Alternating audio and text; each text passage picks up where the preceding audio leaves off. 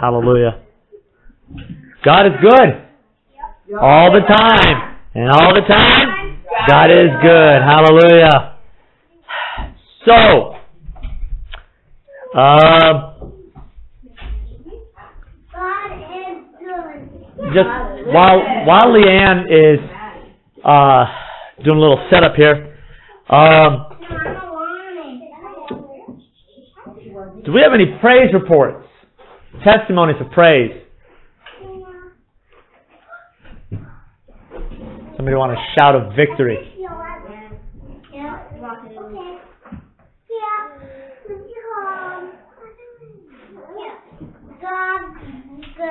God is good. That's right, Natanya. Hallelujah. Hallelujah. Uh, I want to read something. I, I sent this to uh, some friends. There are two vital conditions for prayer: abiding His, uh, excuse me, abiding in Christ, and His Word abiding in us. Reinhard Bonnke. He was the uh, known as the Billy Graham of Africa. Saw 78 million more than that, but since he was recording. 78 million come to Christ. Uh, recorded. recorded. Before that, we, we don't know. But his organization's still going on. Um, I did get a little newsletter that they're gonna do some a lot of heavy training, and they're gonna go to like 10 different um, major cities to preach and, and teach. So um, I just want to pray right now. Father in heaven, thank you, Jesus, our everlasting Father. No witchcraft, no rebellion, no divination, no anxiety, no care. Nothing is going to interfere the, the blood bought meeting and dwelling place here in Jesus' name. Holy Spirit, anoint this time. The, we are frail. We are weak. We are not possible because with man nothing is impossible. Nothing is possible with man, but with God all things are possible. Jesus, I just I thank you for your great love. We love because you first loved us. You who died for your enemies. Thank you, Jesus. I ask that you would open your word to our hearts open the open the eyes of our heart that our hearts may understand and receive what you give to us. In Jesus' name. Amen. So thank you. Um, I am so happy, so so happy to see our family grow and join together. And I, I hope you guys don't mind that I feel that you all are family. Um, that's what we're supposed to be, right? The family of God, right?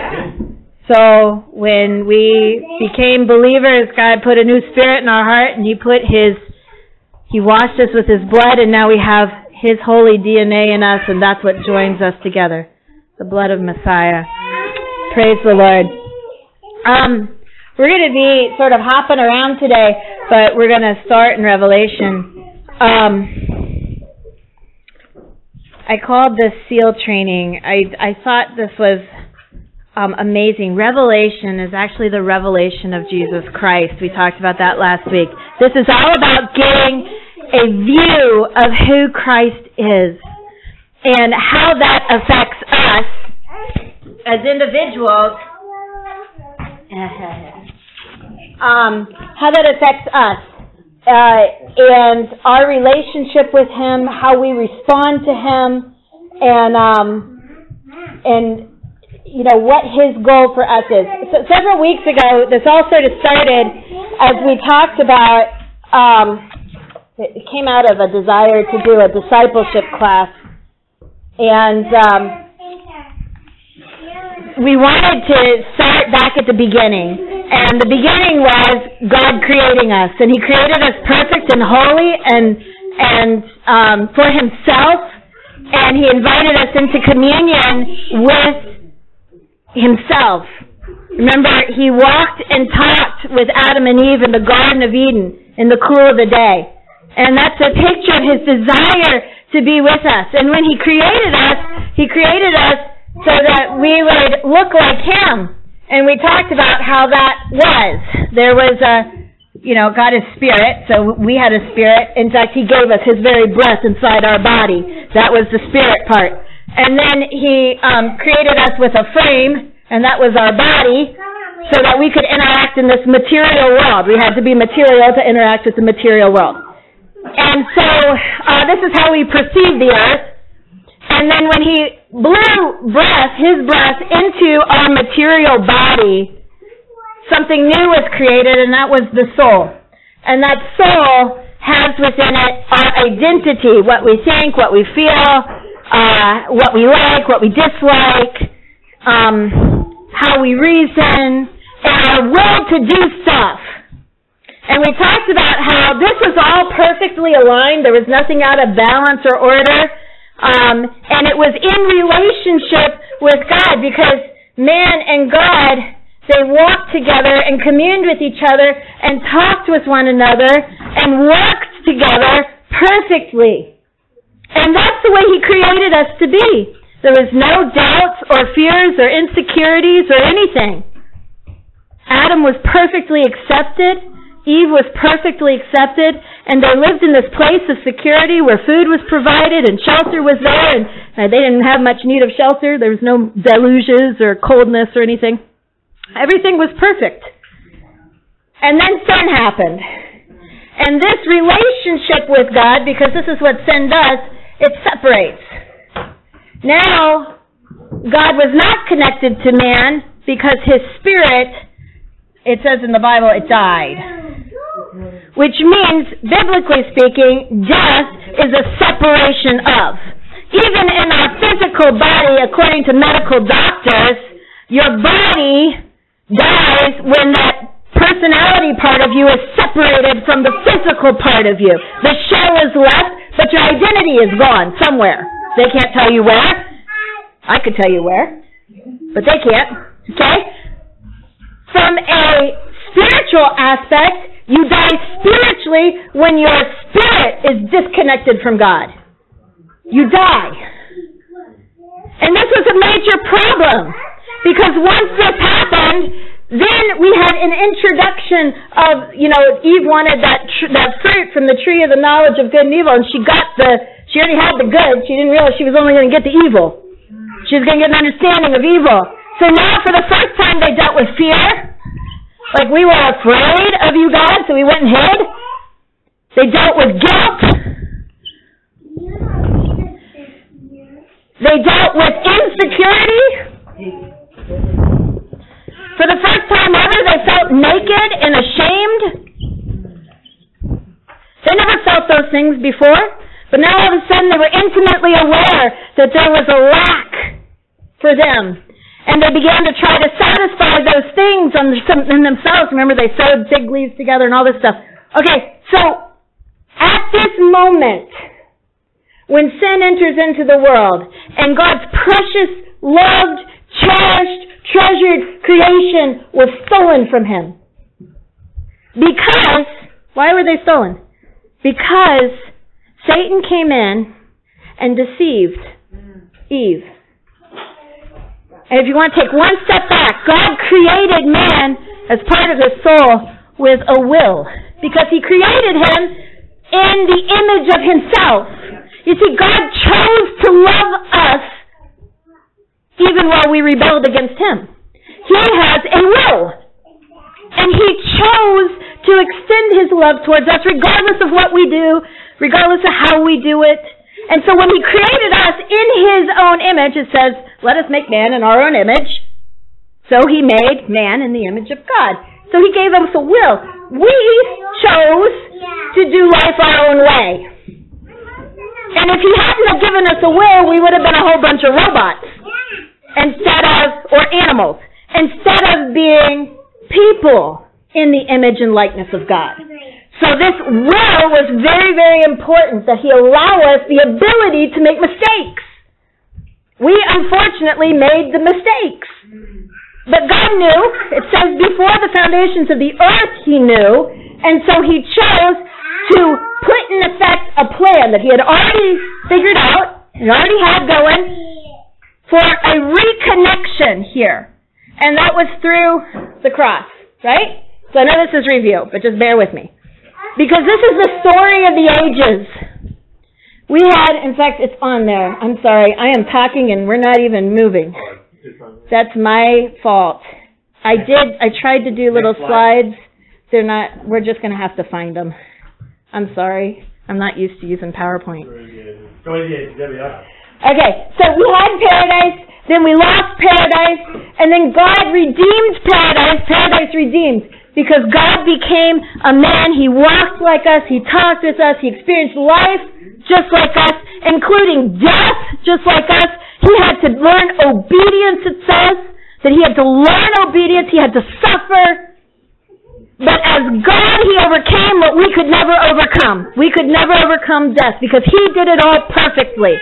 Because He did it perfectly, He was risen out of the grave and he walks now in a newness of life. It says that he put off the in, the corruptible, that is the body which is subject to sin, which was going to decompose, and he put on an incorruptible body. And we, if we believe in Christ, will do the same exact thing. Your body someday will die. But at some point, after that death, you will put on a new body that will never ever die, just like Christ. He was raised victorious over Satan's domain, and he was exalted to the right hand of God the Father in power and with authority because he overcame Satan. This is beautifully described in Revelation 20. Then I saw a mighty angel descending from the heavenly realms holding a heavy chain and a key. Um, oops, I'm reading in the wrong spot. Haha. Just kidding. That's a good portion too. You should read it later. No, no, no. This is.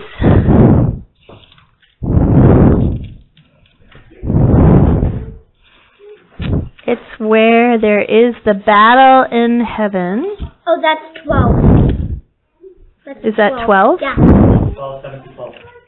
Fabulous. Thank you. Oh, it's on the board. If I read my slide, I'd know.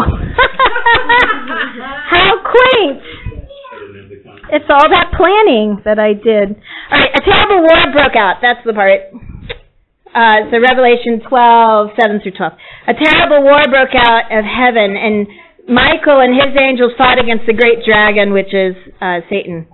The dragon and his angels fought back, but the dragon did not have the power to win, and they could not regain their place in heaven. So the great dragon was thrown down once and for all. He is called the serpent, the ancient snake, called the devil and Satan, or the adversary, who deceives the whole earth. He was cast down into the earth, and his angels along with him. And then I heard a triumphant voice in heaven proclaiming, Now, Salvation and power are set in place, and the kingdom reign of our God and the ruling authority of his anointed one are established. For the accuser of our brothers and sisters, who relentlessly accused them day and night before our God, has now been defeated, cast out once and for all. And they conquered him completely through the blood of the Lamb and the powerful word of his testimony. They triumphed because they did not love and cling to their own lives, even when faced with death. So rejoice, you heavens, and every heavenly being. But woe to the earth and the sea, for the devil has come down to you with great fury because he knows his time is short. And so there's this huge cosmic war that's going on. There is a, a war between God and his adversary. The kingdom of God that he created back here when he made everything perfect before the fall that's what he is going back to. Redemption was part of that plan. Sending Christ as a man to walk the road of man, to speak the words of God and provide witness to who God is, was part of that plan. He died so that we can be identified with him and leave off all of this old Adam. This stuff that we were born into. The world system that was corrupted, that we were born into. We could get rid of this and not live in that any longer. Hallelujah. That was the plan. and then not just stay dead. I mean, it's no good if you just stay dead. He was going to, according to Ezekiel, he was going to give us this, this old spirit he's going to get rid of. And he was going to give us a new spirit, it said, that would be connected to God, and he would give us a heart that is of flesh. Now that's very interesting. He doesn't say exactly a new heart. It's a heart of flesh, one that's able, as opposed to a heart of stone. That was the comparison he was making. You see, before, we just were stuck in a sin cycle. We'd try and try and try, try, fail, try, fail, try, fail, try, fail. It's a horrible sin cycle and very depressing. And some people throw their hands up and walk away from God completely because they get so frustrated with the try, fail sin cycle. So He gives us a heart of flesh that will be able to win. Isn't that awesome? He restores our ability to win. And Revelation is largely dealing with this idea of winning the war for the soul. If you want to think of it this way, the body that you live in right now is condemned. It's gonna die. Sorry. Some of you young people might not think too much about that, but you're gonna die someday. Your spirit is going to live. Because it is God's if you are aligned to Him, if He's your Lord and Savior. He's given you a new spirit and He has sealed it with your whole, with the Holy Spirit. You know, that's something that Adam and Eve didn't apparently have. They didn't have that sealing. But if you read the New Testament, it tells us that we are sealed by His Holy Spirit. Just as that grave tomb was sealed by the ruling authority to try to keep everybody out of that tomb. Of course, the human sealing didn't do much. It didn't stand in the face of God and His power. But when God seals you, you're sealed forever. Okay, so our spirit is sealed, our body is condemned, that leaves this area. This soul area, it's contested. That's where the war zone is. Is for your soul. And you know it. Should I eat the cake should I not eat the cake? I don't know. Should I steal the thing? Should I not steal the thing? Should I tell the lie? Should I not tell the lie? Should I get up? Should I not get up? And you fight with yourself. That fighting is this contested area. Right? God wants you to win here. So He gave you a heart of flesh that would be able to follow in his ways. But he didn't just give you a heart of flesh. It says in that same prophet's passage in Ezekiel, I'll find it and put it up there at some point. Is it 30? Ezekiel 36. 36. Uh, 30, that sounds about right. 16. You guys find it. You'll got it. Get it faster than I will. He said that he would put his spirit within you.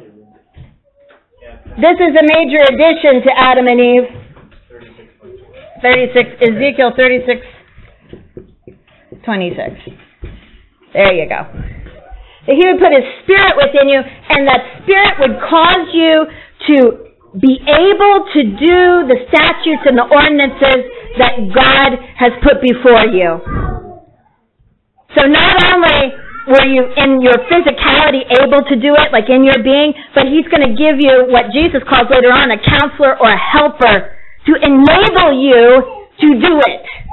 He has given you, according to Peter, everything necessary for you to walk in godliness. There is victory on the horizon for you. There is victory on the horizon. Okay, let's see what the next one says. All right, so convinced that God can be known, and by known I mean in a hands-on kind of fashion, not known in your brain. Okay? There's a difference. Known by experience, like He can talk to you, He can guide you, He can show you things, and teach you the way in which you need to go. That kind of known. That God can be known, and that knowing will take them back to Eden. Back to that place where all your needs are met for significance. Why am I here on this earth? Security in your physicality, in your being, knowing that you, you're going to have a place, everything that you need is going to be taken care of, and acceptance. God's not going to reject you. Jesus said it, I will never leave you nor forsake you. I'll be with you till the end of the age. By the way, that was just a restatement of what God told his people back in Exodus. I'm never going to leave you. I'm going to go with you. They begin the journey of following Christ with the goal of becoming like him. Okay? They identify themselves in his death.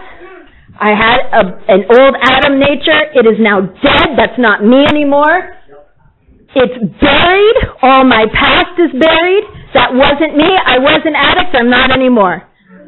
I was an offender. I'm not anymore. I was a liar. I'm not anymore. I'm a new creation.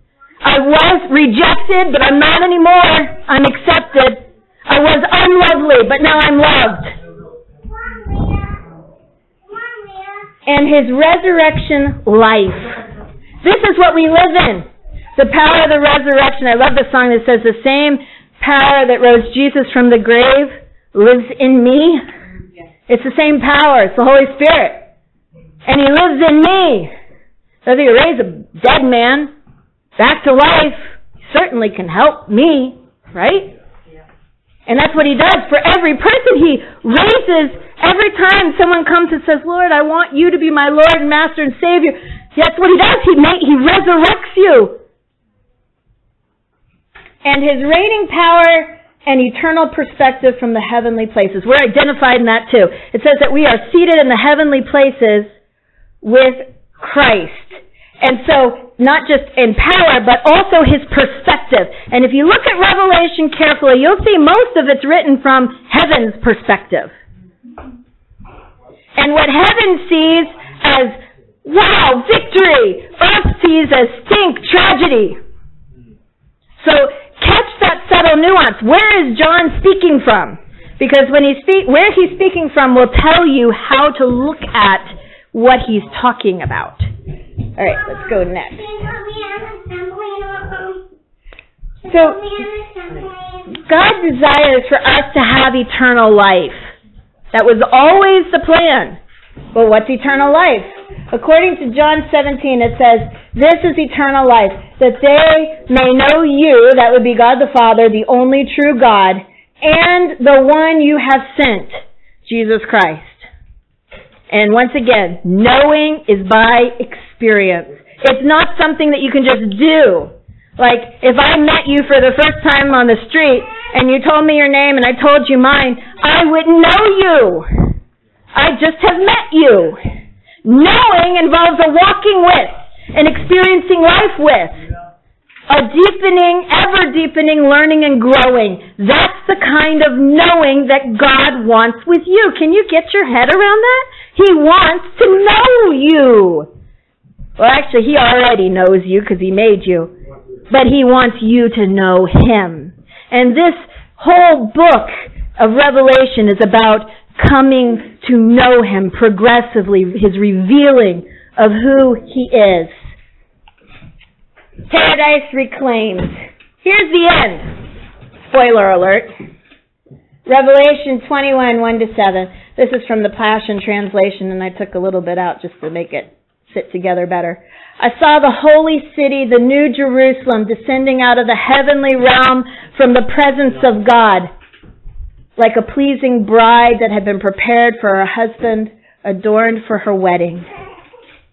Look, God's tabernacle is with human beings. And from now on, He will tabernacle with them as their God. Now, God Himself will have His home with them. God with them will be their God. God with them. Emmanuel. The name of Yeshua, right? Of Jesus. He will wipe away every tear from their eyes and eliminate death entirely. No one will mourn or weep any longer. The pain of wounds will no longer exist, for the old order has ceased. And God enthroned spoke to me and said, Consider this, I am making everything to be new and fresh.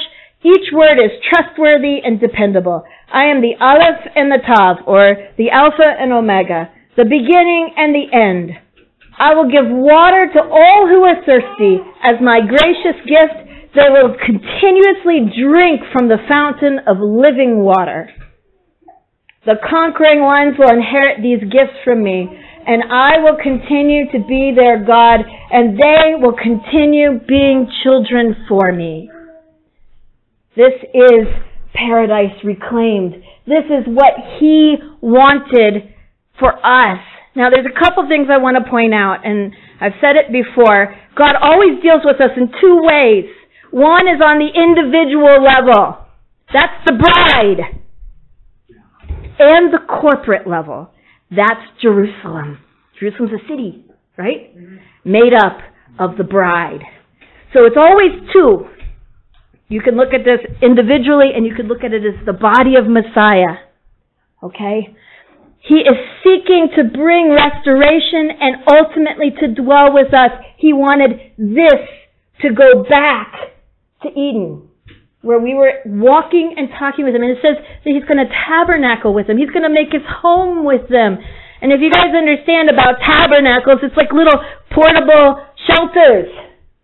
We're not talking about skyscrapers that are, you know, dug deep in the ground. These are, he's going to go with you wherever you go and your home is going to be where he is. You know, we, in fact, we have the little phrase, you know, home is where your heart is. Yeah. Yeah. Really? He, he wants your heart. You already have his. And he wants to tabernacle with you wherever you go. I will not abandon you. I will not leave you. You will never be forsaken. This is the reclaiming of paradise. Let's go next. So God sees us a certain way. This is his vision of us. This is First Peter. You are God's chosen treasure. Priests who are kings, a spiritual nation set apart as God's devoted ones. He called you out of darkness to experience His marvelous light. And now He claims you as His very own. He did this so that you would broadcast His glorious wonders throughout the world. For at one time, you were not God's people, but now you are. At one time, you knew nothing of God's mercy because you hadn't received it yet. But now you are drenched in it. Glory. Hallelujah. Do you see how much love He has for you?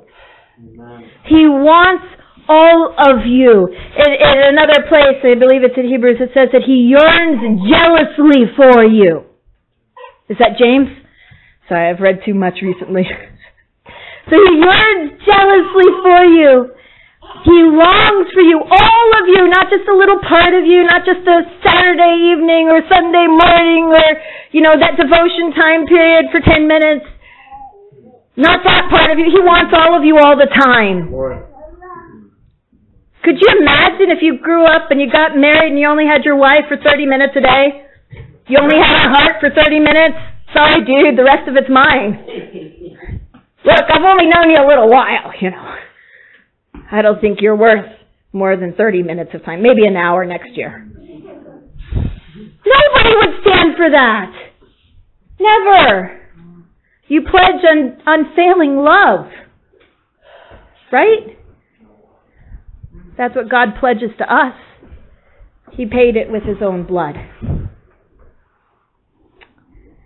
So, that brings us to seals. Now, this might seem like a bit of a departure from all that we've talked about thus far, but I'm hoping it'll come together on the end, so hang in there.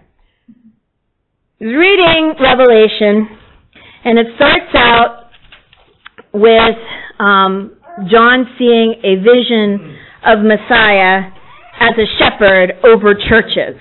And he's walking among the lampstands, which are symbolic of the churches, and there are stars in his hand, which are the ministers, of the shepherds of those churches.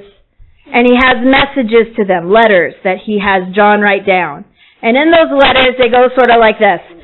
I am, and then he describes himself. He reveals himself to the church. And then he says, I see this in you. It may be a positive or a negative thing, more often negative than positive.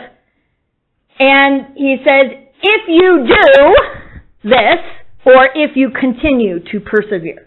So it's either repent if you did something, you're doing something wrong, or, and repent means what? Turn around, right.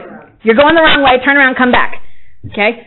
Either repent or keep persevering. I see what you're doing, you're doing fine, keep going. So that one of those two messages is given to the church. And if you conquer, then you will receive this blessing. Okay? And this is the format for every one of those letters.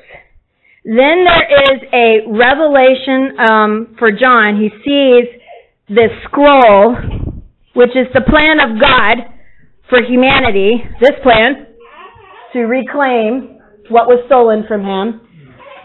And he sees that it's the Lamb who is going to do that. It's very interesting. We noted last week that, that I believe it was one of the elders said, Look, it's the Lion of Judah. And John turns around, he looks, and he sees not the Lion of Judah, he sees the Lamb that was slain. Because it's different. Our perspective and heaven's perspective are different. Okay? So he sees the Lamb that was slain who is worthy to open the scrolls. And he picks up the scroll, and in chapter 6, we have, it's not up there, well, it will be later, but um, chapter 6, he says, then I watched as the Lamb broke open the first of the seven seals, and immediately I heard one of the four living creatures call out with a powerful voice of revelation sounding like thunder, saying, Come forth! So I looked and behold, there was a bright white horse. Its rider had a bow, and it was given a crown of victory. And he rode on as a conqueror, ready to conquer. And this starts the opening of these seals. And with each opening, there's another little revelation that occurs. And as it unfolds, we're going to see where we're going with this. This is the Lord's determination to win this contested part of your body, of your being, for Himself. Okay? But we got to start with a vision of who it is that is winning our soul. All right? Now, because it's SEALs and my brain makes connections, I thought about the Navy SEALs. So, bear with me. It's just a metaphor for understanding, but I think you'll see it. Okay? So, the Navy SEALs are, is the elite group of the Navy, right? They're the ones who do all the special missions and everything. And um, I went, I got this straight off of their site, so this is true. Um, entering training to become a Navy SEAL is voluntary. And so it is to give up your rights here. It's voluntary. God is not like Satan. He doesn't deceive. He doesn't manipulate. He doesn't cajole. He doesn't guilt. He doesn't shame you into anything. That's not his manner of doing things. He wants all of you. He wants your whole heart. He asks for your whole heart. He deserves your whole heart. He is seeking to take dominion and to bring you back into oneness with Him, but there's a problem with this. He can't just take you the way you are when you're dominated by sin and your flesh and bring you close to Him because sin separates. Let me put it in a, a very practical manner. If you lie to your best friend about something, can you have a right relationship with that friend? No, you can't. Even if they don't know that you were lying, you know. There's a, a blockage there. You can't be open. You can try. You can pretend to talk to them.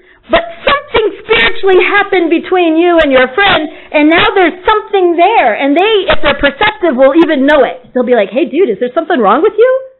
Because you start doing things weird. They know. You know. There's a blockage. And so it is with God. He made us in His image, right? And so when there's sin between us and Him, there's a blockage. You can't have open and free communication.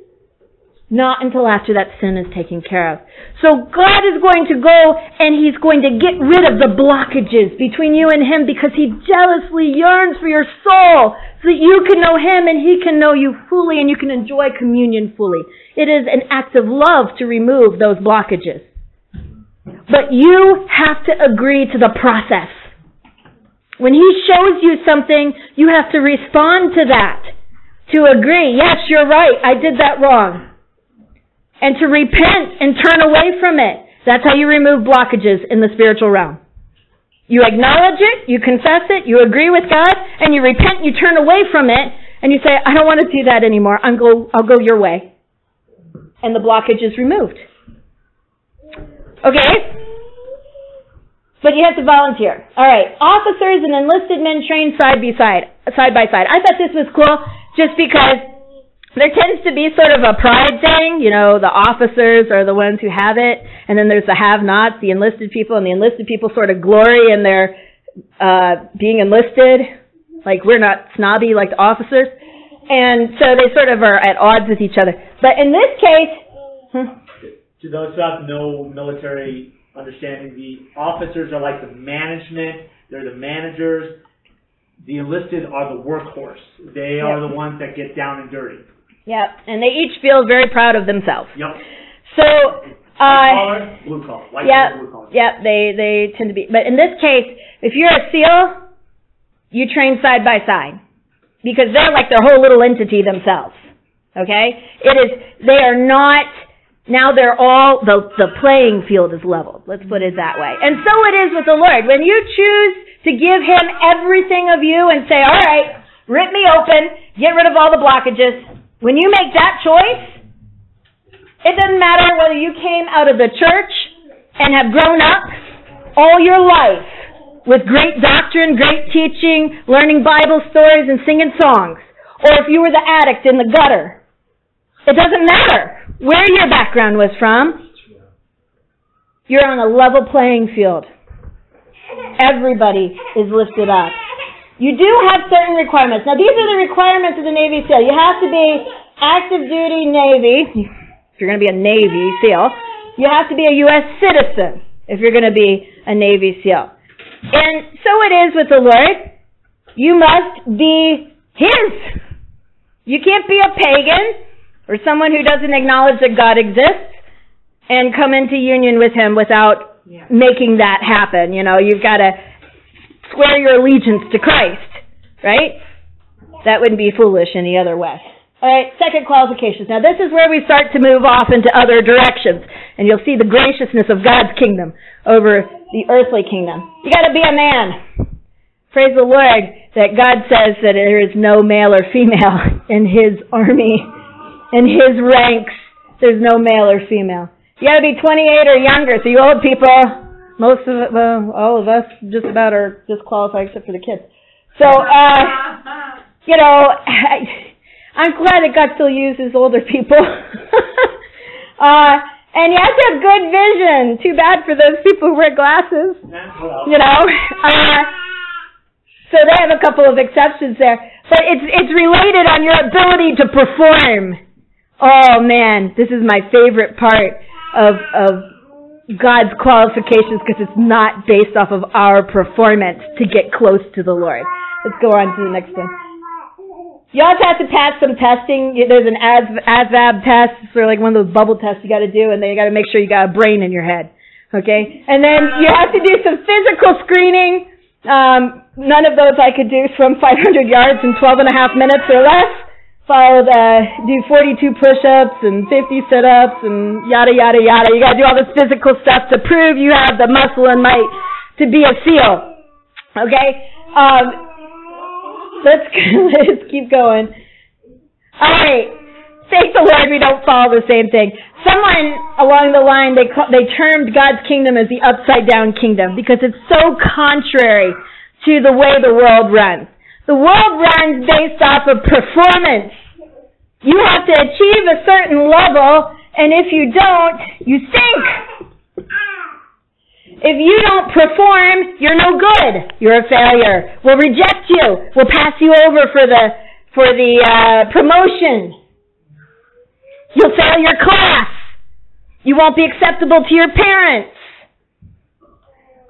You don't get to win the singing contest. Whatever it is, the, it's all about performance to somebody's standards, some other human standards. And if nobody's putting that on you, we haven't had knack of doing it ourselves. We look around at other people and go, man, I'm not as good looking as that person. I don't have as good a voice as that person. And so we'll set up our own standards in the absence of somebody else forcing their standards on us. God's kingdom is different. His kingdom is based off of faithfulness and your relationship to Him. And it's actually not your faithfulness to Him, it's His faithfulness to you. How cool is that? You can't even screw that one up. It's screw up proof. I love it. All right, so there is, even among the religious, in fact, I would say especially among the religious, there's the sense that in order to be a person of God, let's put it that way, a person of God, that you have to do certain things. And so among the religious, they tend to feel like you have to be morally superior or have great will to win the battles for your soul. Okay? Because we're going to talk in terms of spiritual things. Moral fortitude. God says, no. You need to be humble. You need to be broken. God despises the proud, but he lifts up the humble. The, you know what humble means in Hebrew? It means afflicted beaten down, oppressed, those who are in the dust, those are the ones he lifts up. It's not your great moral fortitude that wins God's favor. If it did, he would have been happy with Cain. Yeah. It's humility. Nor is it our strength. I have great talent and eloquence. I could preach the gospel to whoever. Or we feel bad about the fact that we don't have eloquence, or we aren't as bold as we think we should be. Or we, we aren't able to, you know, I just wish I could minister and blah, blah, blah, blah, blah, and we make ourselves feel bad because we are looking at our human natural abilities. God says, no. It's in your weakness that I'm strong. It's in the foolishness that is in your body that I shame the entire world. It's my wisdom. I love the story of the uh, stuttering, stuttering Herbert Brown. The stuttering Herbert Brown. It, he was uh, a guy. There was a, a pastor, James Stewart. He was an evangelist, and he needed someone to come alongside him and help him preach because he was just too overwhelmed. And so he prayed. He said, "Lord God, please send me someone else to help me. And so this stuttering Herbert Brown came up to him after one service and he says, you know, Mr. Stewart, I would like to, and he stuttered it, so imagine a person stuttering. Um, uh, we'll, we'll have Ez do the reenactment here. So it's actually one of my favorite stories. Um, so after service, Dr. James Stewart, uh, who wrote she was only 22. I sent that out a little bit ago uh, of Helen Ewan. Dr. Uh, Herbert Brown said, Dr. Stewart, praise the Lord. I, I'm God, I got to go preach with you. He's answered my prayer. And Dr. Stewart said, Oh, no, no, no, no, no. Lord, Lord Jesus, no, no, no. And the Lord rebuked him. He said, Son, I, did I not make him too? And as they went out preaching, Dr. James Stewart, a man of God who is so accomplished, uh, died in 1976 or something, went all over, the, all over the world, lots of publications. He said that that man, Dr. Uh, uh, uh, Brother Herbert Brown, was more anointed than me. Scores of people got saved if you ever get a chance to look up on YouTube, uh, I am second yeah. David Ring. Oh, here goes the waterworks. and you hear a man who was born dead, a cripple, cerebral palsy, came back to life, gave his life to the Lord at 14, and now goes all over the country preaching, and scores of people are getting saved God uses broken people. Amen. Um, another qualification. Um, sometimes people think that they have to have a lot of scripture knowledge. Like you gotta have memorized large chunks of the Bible, or at least the plan of salvation and all the verses that go with it. Or maybe it's certain doctrines you have to have a handle on, or a special sort of spiritual sensitivity, maybe be able to hear God's voice real well or whatever, whatever that sounds like. And so people will elevate these things and think that, that they are disqualified from being a person of God because they don't sense those characteristics in their life. The Bible never teaches that. He says, the Bible says you have to have faith in God and you have to believe in His Word and rely on it. You gotta, you gotta do what He says. You gotta rely on what He says and speak what He says about you. And I have a little testimony on this myself. When we were first married, we decided we were going to learn Scripture. We just thought that that was really important. We were going to memorize it. So we started re- memorizing 1 Corinthians 13 figured that was a good one to start with, love and all that. And so we would read a little phrase and I'd repeat it and repeat it and repeat it. I'd repeat it standing up like I was preaching it to someone. And then um, I would add the next phrase the next day and we'd do it, Erez and I would do it together. And, and at the end of the day, we'd like quiz each other and the whole deal. I stunk at it. I could not for the life of me remember scripture. I just couldn't do it. I tried, I tried. I can remember crying before the Lord and being like, what's wrong with me? you know, maybe I have a demon or something. I can't, I can't memorize scripture. I really felt horrible about it. And then, as I went along, I finally stopped. I said, Lord, you said that you would write the word on my heart. So, Lord, would you just do it? Would you just do what you said and write the word on my heart? Because I want to know your word, but I can't remember it. And he did. And now I remember lots of scripture. I don't always have the references, but I remember the scripture. And he has written it on my heart. Um, by the way, if anybody knows me, I don't remember a lot of things.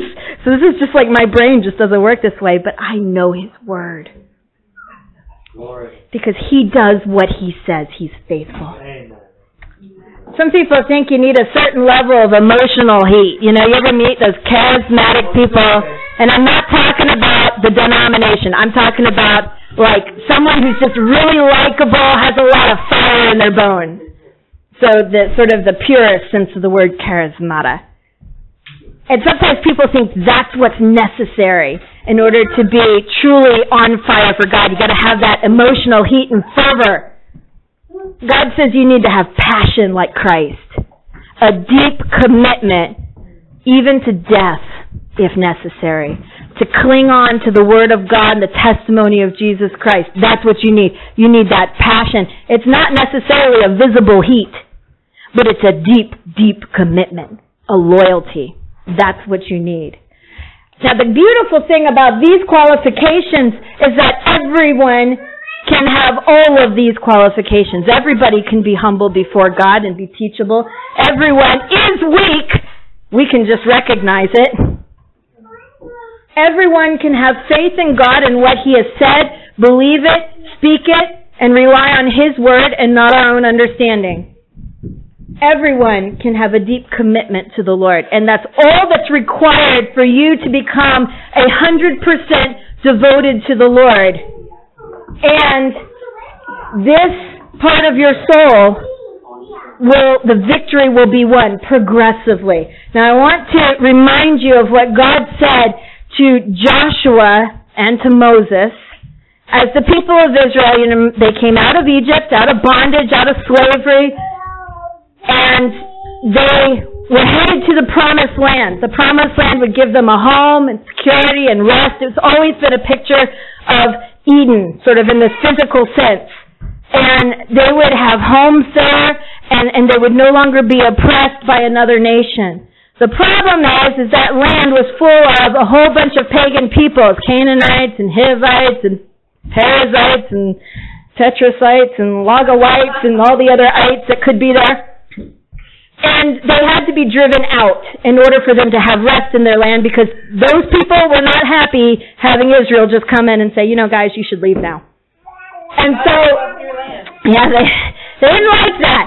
And so uh, there was going to be some battles that were going to occur. This is a huge metaphor for us, okay? Because we have things living within our soul that are contrary to God and they don't want to just get up and leave. Okay? Those old habits, those old patterns, have been rooted in there since, you know, the beginning of our life. And they don't want to just say, oh, yeah, you're right, you know, we'll go, see you later. You know, that doesn't go like that. I wish it did. But it doesn't. And so there's going to be some fights. And, but God tells Joshua some things before they go into the land to take over the land. He says, I will go before you. That's really important. I'm going to win the victory for you. That's also very important. However, Joshua's going to have to go, so it's a community or a communion thing. Also, he says, I'm going to drive them out. How? Anybody know? By little. Little by little. Not at one fell swoop. Not in even one year. So be patient. It's going to take some time. Because I don't want the wild beast to grow up in you. Wild beast. That is the, the God's way of saying your flesh nature to spring up. You've got to, we've got to drive it out little by little. And then you will possess the land and there will be rest. There will be rest for your souls. Your souls. Interesting that he uses that. Alright. Ooh, that sounded bad. But, no worries. Alright. The one thing left that qualifies you to become a person of God. And I, I, I hope I'm getting this across. There are people who believe that Jesus died and rose again for them and that they're going to heaven and they have a relationship with God at a level. And then there are people who live it and breathe it 24 hours a day. I hope you have had an experience of seeing the difference between the two. Okay? There are people who, who you would look at and you go, man, they really know God. In fact, if you have a spiritual question, those are the people you're going to go to. You just sort of know. They, if anybody knows, they're going to be the ones who know. Okay, so those are the people I'm talking about. And then there's the people who sort of do church sometimes. And then they do other stuff other times. Okay? When you become a SEAL, and I'm talking about the Navy SEALs, you become a SEAL 24-7. It's not part of the time. You don't take off your SEAL uniform and hang it up and, and you become a civilian after that. You are a SEAL 100% of the time. In fact, you're not even just part of the Navy. You're part, you are a SEAL trainee or someone who has, has gone through the training and you're done. Okay? It's 100% of the time. And so it is with the Lord. When you say, Lord, I want you to be master of my life 100% of the time, you never take it off. You can't go back to being a civilian any longer. There's a little clip I want to show. It's called Don't Ring the Bell. And this is um, the admonition that once you start, once you have made the decision to say, Lord, all of you, you can have all of me. When you make that decision, Everything will come against you. You will be tried in every way because Satan hates it. He hates it with a passion when people make that statement. And he'll do everything to deter you. He's going to try you physically, circumstantially, emotionally. He will try to badger you and tell you you won't make it. And he'll try to get you to give up because he knows that God has already won the war through Christ. That the victory is sure. But if he can get you to believe that it won't work for you, maybe it works for other people, but it won't work for you, then he's won. He's won not because he has made you lose, but because you have given up. And so this is actually from Admiral William McRaven. He was given a talk at the end of somebody's um, Longhorn graduation. Thank you.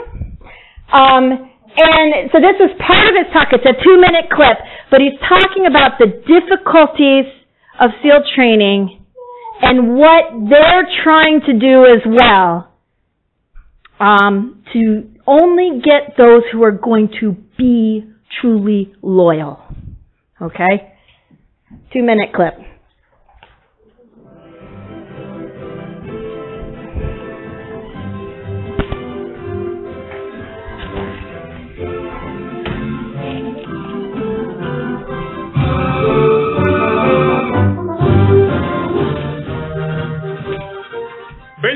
Training is six months of long, torturous runs in the soft sand, midnight swims in the cold water off San Diego, obstacle courses, unending calisthenics, days without sleep, and always being cold, wet, and miserable.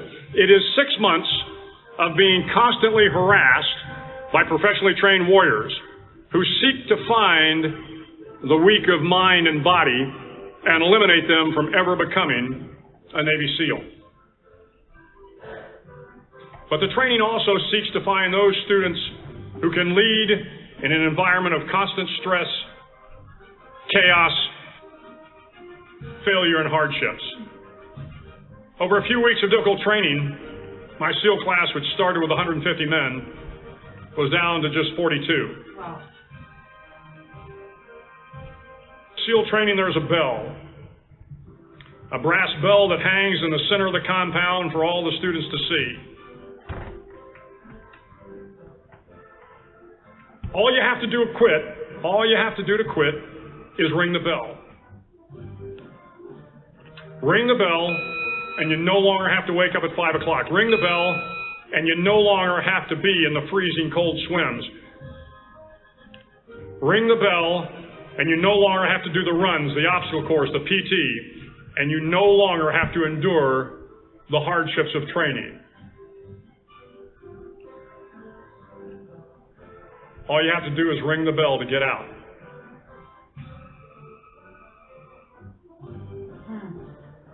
If you want to change the world, don't ever, ever ring the bell.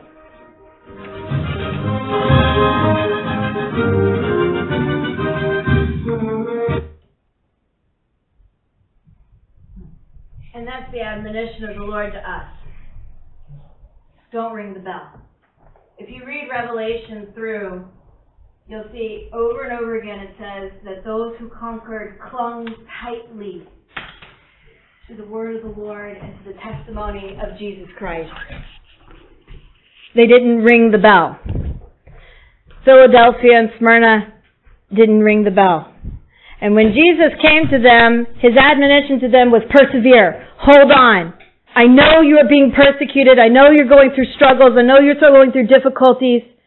Hold on. Or don't ring the bell. Don't give up. In those who survive, they get to the end of Revelation as the bride. The beautifully adorned one with the white shining robes who is the apple of God's eye. And what do you see the bride doing in that last chapter of Revelation? The Spirit and the bride say, Come. Let those who are thirsty say, they say, Come. Right? The whole point is that when you become fully His, you have His heart, you have His mind, you have His power by the Holy Spirit, and the authority of Christ has been shared with you so that you can interact in the world and do something that makes a difference. You know, why do people become Navy SEALs? Because they want to make a difference. They, they want to do something of importance. They want to be the best. Should we not want at least as much as a Navy SEAL on this earth for God's kingdom? Shouldn't we want to be all of His and say, I don't have much, but you can have all that I am? And let Him decide what your life looks like. Let Him decide how to write your story.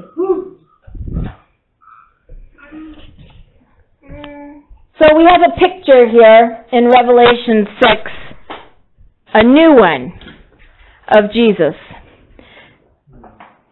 It is um, spoken out by one of the four creatures that's flying around God's throne before God's throne. These are the creatures that have the multiple wings and the faces that are different, you know, an ox and an eagle and a lion and a man. Okay?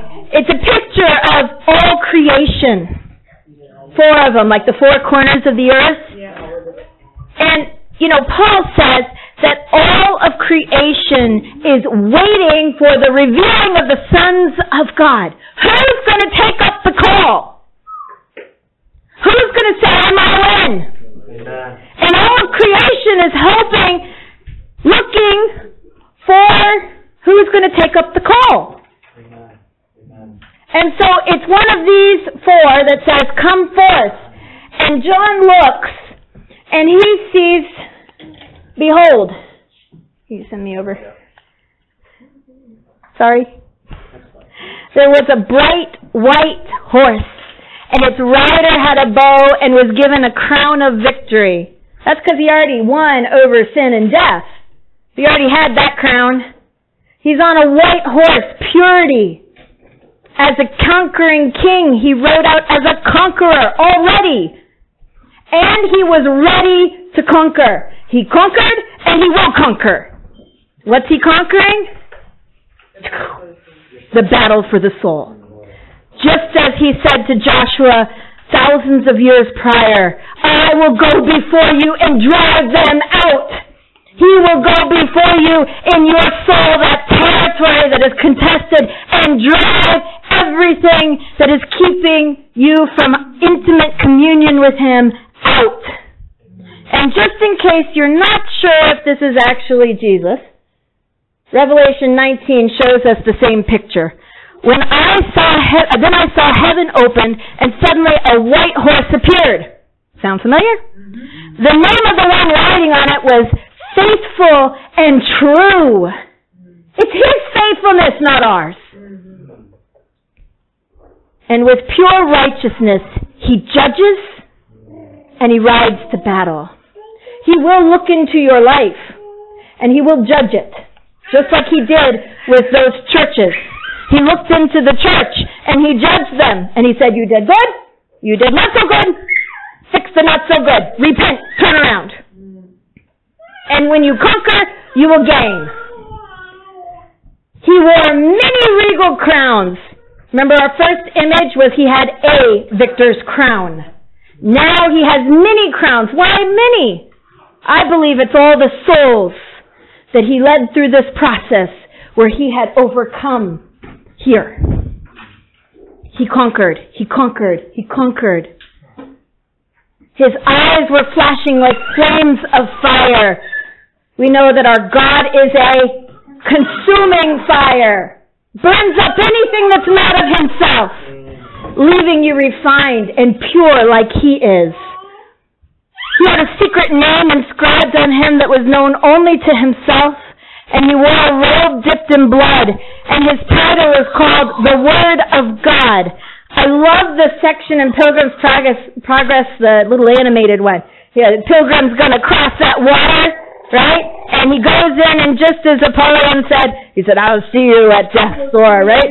I will see you again, right? And so the great serpent comes in, and he, there's this uh, biting. It looks like he bit him.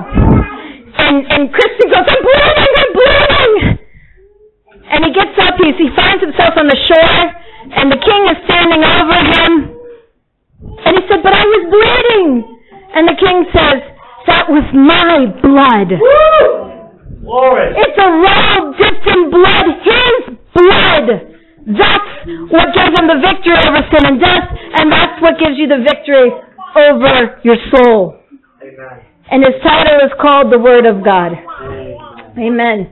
Following him on white horses. This is what happened to all those people who went through that training. They follow him now on white horses, the armies of heaven, wearing white, fine linen, pure and bright, just like, shall we say, the picture of the bride, the picture of the 144,000 who have the name and image of God on their forehead that are marked and sealed for him the saints that are under the throne, they're all the same picture. Fine white linen clothes them. A sharp sword comes out of his mouth from which to conquer the nations, and he will shepherd them with an iron scepter. He will trample out the wine and the winepress of the wrath of God, and on his robe and on his thigh he has inscribed, inscribed a name, King of Kings and Lord of Lords. Certainly he is king over every earthly reign that, that is here. But remember, we are all promised that we will be kings after him. He is our king over a whole nation of kings who rule in his stead. That's what Adam was supposed to do. He was supposed to take dominion over the earth. So this is Jesus, our conqueror.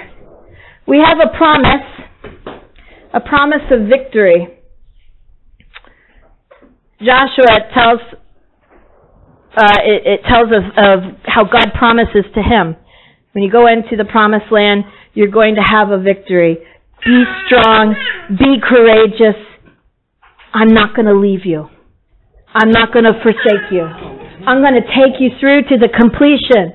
It's akin to Jesus saying, I'm the beginning and the end, the Aleph and the Tav, the Alpha and Omega. It's the same thing. I'm going to take you all the way to the end. What I planned on doing for you, I will complete. Or Paul puts it this way, he who began a good work in you is faithful to complete it. Right? And so this is what he's going to do for us. Haven't I commanded you to be strong and courageous? God speaks to Joshua, do not be afraid or discouraged, for the Lord your God is with you wherever you go. And he speaks the same thing to us. Doesn't matter what circumstance you have to go through, what trials, what difficulty, what persecution, what voice you have to fight in your head. I will go with you, and I promise you the victory. And he gave us a special equipping. In John 14, 16 to 18, he says, Jesus says to his disciples, this is right before he's going to be crucified. These are his like last words. He says, I will ask the Father, and he will give to you another counselor to be with you forever he is the spirit of truth. Very important because Satan is the father of lies. And we still live in a world that is run by the father of lies. And there's lots of lies all over the place. So God gives us a special equipping, a spirit of truth, so that we can discern between the truth and the lie. The world and its system is unable to receive the Spirit of truth because it doesn't see Him or know Him. It's not of Him. But you do know Him because He remains with you and He will be inside of you. That was the promise in Ezekiel, remember? In Ezekiel 36, 26, I will put my Spirit within you so that you can have victory. Mm. I will not leave you as orphans. I am coming to you we are especially equipped for this SEAL training. It is up to you. It is up to you to make a decision to give all you have to the King and say, make me all yours. It is not dependent on your flesh. It's dependent on God's word about you. He will do it in you if you are willing to volunteer.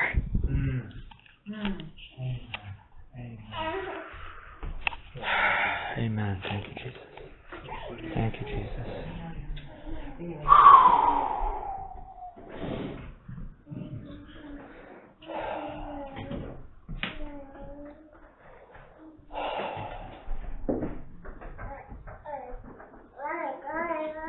Lord, thank you so much for this wonderful, wonderful message. Thank you so much that you are the lover of our souls. You are the conquering king. You have won our hearts. Oh God, I pray that we would relinquish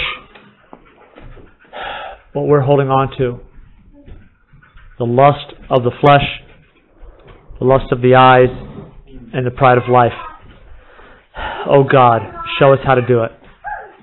Teach us to be obedient. In Jesus' name, amen. Um, so I'm going to give an altar call.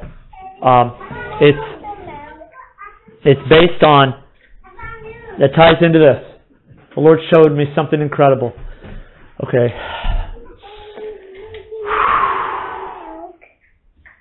Mark 5, verse 41. This is, I'll give you the backdrop. Jesus walking through the marketplace, Jairus, or rather in Hebrew, Yair. I, I love the name. Um, uh, Yahweh's my light. And he says, Come, my, my daughter is at the point of death. And then she dies. Oh, glory.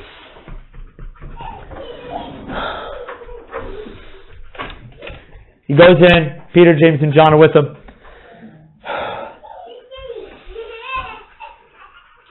And he says, She's not dead, she's sleeping. Folks,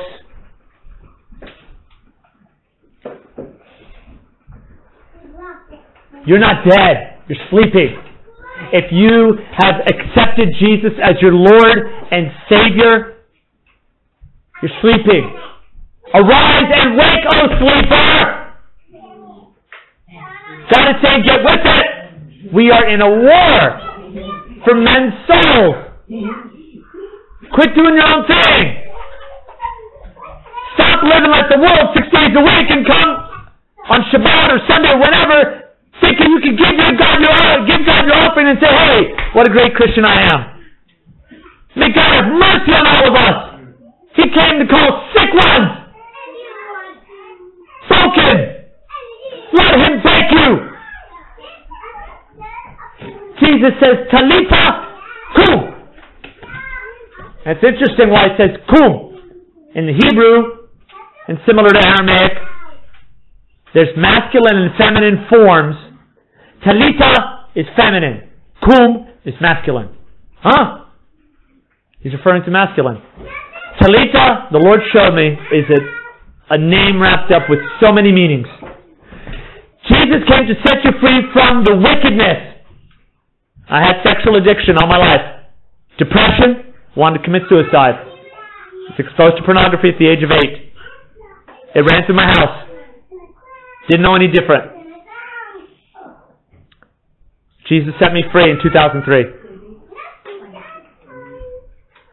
But then I fell into another trap. Trying to be good for God. Do good things for God. You can't do it. You can't please Him. The best thing you can give to Him, He says, that's not to me. I don't want it. I want it my way.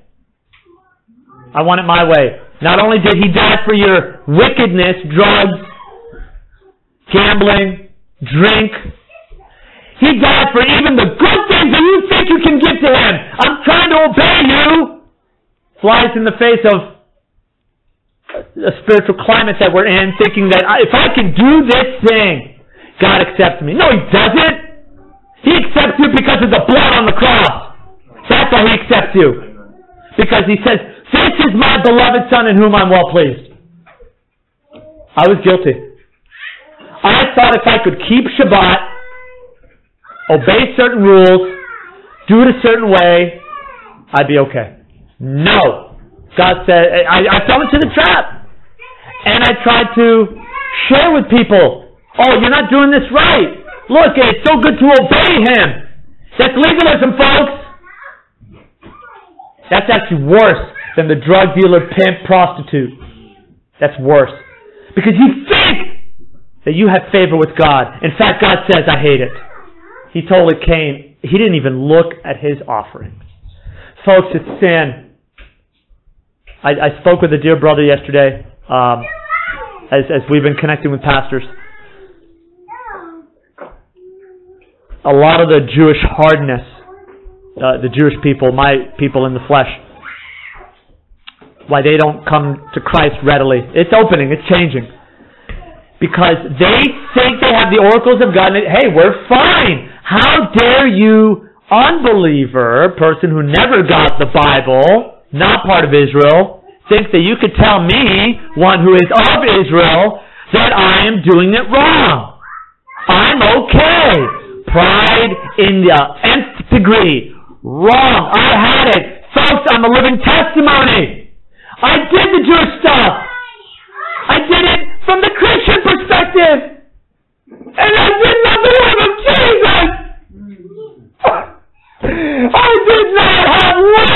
I did not have grace. I couldn't keep Shabbat to save my life. I couldn't keep the feast to save my life. It's Jesus. It's His blood. It's His love. You can't earn it. You can't do anything for it. Oh yes, Jesus, I believe. Now wash me clean. He says to you with talitha, that word in the Hebrew, there's different variations. It says, little lamb, wake up! Little lamb! Wake up! Why do little do we hit lambs? Because you go to the cross with him!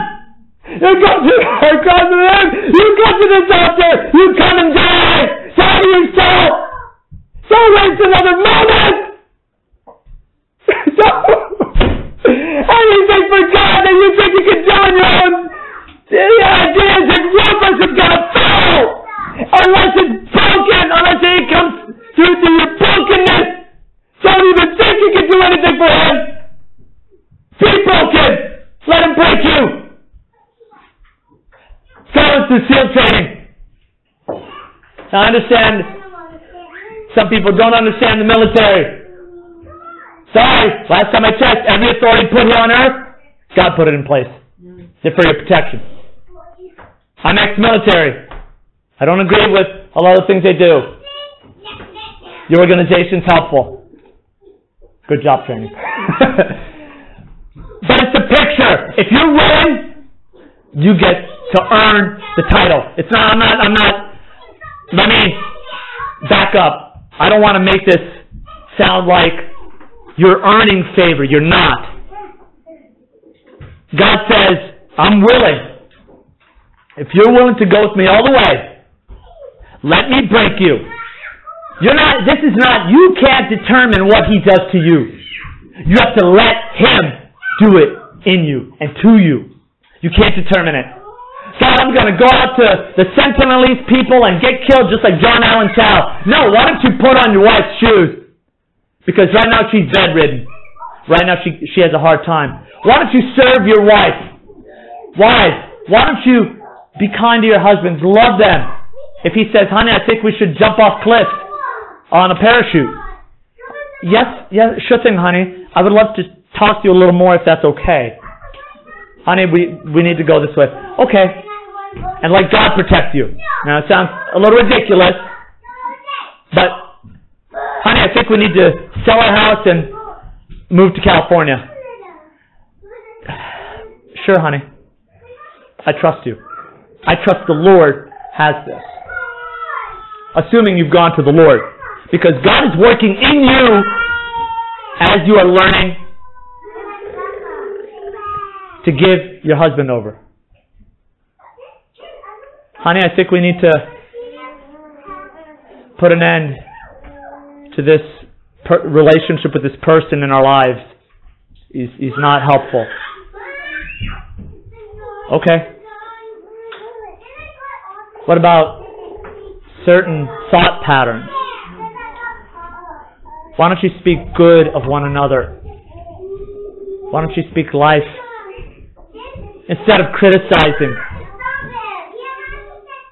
Folks, that's the transformation process of having the mind of Christ. So, Father in heaven, thank you for your word, teaching us, refining us. Jesus, there's somebody at the sound of my voice that has not denied themselves, taken your cross, and followed you. They're still trying to do it their own way, pulling up their own bootstraps. Father, cut the bootstraps. Take off the boots. Let them walk barefooted so that they learn how to be like Sadhu Sundar Singh, the apostle with bleeding feet, to just follow you, saying, Yes, Lord, you provide for me. You take care of me. whatever's let me just know your voice, Jesus, because that's more that's better to me than life. Your love to me is better than life. In Jesus' name, amen.